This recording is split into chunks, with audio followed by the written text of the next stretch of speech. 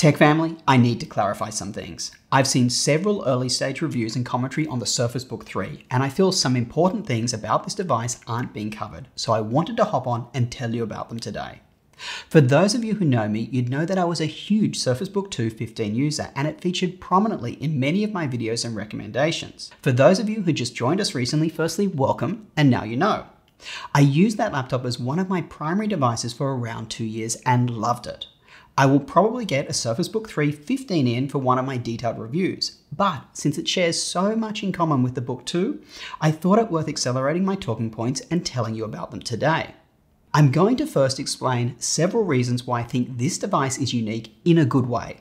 Then I'm going to talk about the issues I had with the Surface Book 2, leading to why you don't see it here with me right now.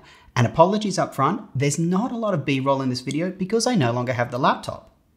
Alright, Number one hidden gem about the Surface Book series is that they are completely cold to the touch when using them.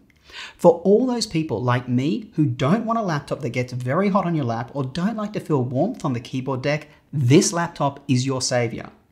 This is because the Surface Book series has most of the heat generating components placed behind the screen, so that when you detach it, it's a fully functioning computer. The exception being the dedicated graphics which is placed in the keyboard base. A wonderful side effect of this design is that the parts of the laptop that you would actually come into contact with remain comfortably cold to the touch. The one exception to this is if you are performing tasks like gaming that require the dedicated graphics card. Whether the engineers over at Microsoft were aiming for this or it was just a lucky side effect, not having to feel warmth or heat just makes this laptop an absolute joy to use. There's none other that I know like it. Second thing I like about the Book 15 is that it is the only laptop that I know of that is pretty good at everything. Seriously, let's take a look at how it performs for common use cases. Casual users, browsing the web or using Office-like applications. Tick.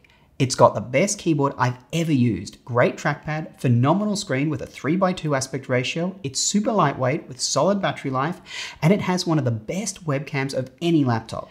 Alright, gamer. Tick, it's got a great graphics card that can play the latest AAA games at decent settings. Programmer, tick, it's got enough processing power, options for plenty of RAM, it has that amazing keyboard that I certainly love to type on, the display size, resolution and aspect ratio are great for looking at code, plus it's pretty lightweight. Video editors, tick, it's got a capable processor and a powerful dedicated graphics card for video editing software to take advantage of. Compare it to other premium laptops out there. Razer Blade's keyboards are uncomfortable to type on, and the laptops itself are heavier.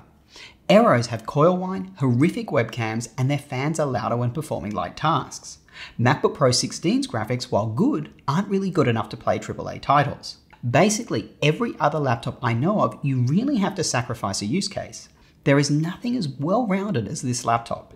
It certainly doesn't mean it's the best at any particular use case, but it is pretty good at everything. Alright, let's turn to the negative. The Book 2 had quite a few niggling issues that I hope are fixed in the Book 3, and I haven't seen others talk about. The infamous 400MHz throttle. What happens here is due to inadequate cooling, the laptop would throttle the CPU down to 400MHz, making the whole machine insanely slow, and often you'd need to restart the laptop to get it to run at regular speeds. Some units had it happen a lot, others not so much. Although there are some workarounds listed, after trying them, it still occasionally occurred for me. And boy, when it happens, it makes the whole thing unusable. Just look at how many complaints there are out there about this. Next, the dedicated graphics card would sometimes disappear. I kid you not. You'd have to separate the laptop, taking the top part off and put it back on for it to refine the graphics. Next, the fulcrum design leaves a lot of open space for debris to get inside this laptop. My own Book 2 screen eventually cracked as a tiny piece of debris fell into the unit and cracked the screen when it was closed. Luckily, I had Microsoft Complete coverage and they replaced the unit for a $50 fee. But three months later, my replacement unit bricked itself, meaning it would not boot at all. When I turned it on, you'd see the Windows BIOS boot logo, but it would never boot and the BIOS could not be accessed. So I had to send it back as well which is why I no longer have this device. Luckily, the Microsoft store folks were super helpful in offering me another replacement laptop for it. End of the day, the Book 2 was not the most reliable machine. The Book 3 seems to share a lot in common with the Book 2. I would only consider buying the new one if you also buy it with Microsoft's complete protection.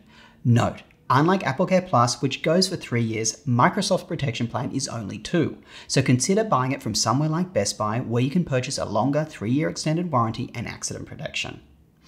To be honest, if you are someone who plans to keep your laptop for five plus years, I definitely think twice about investing in this one.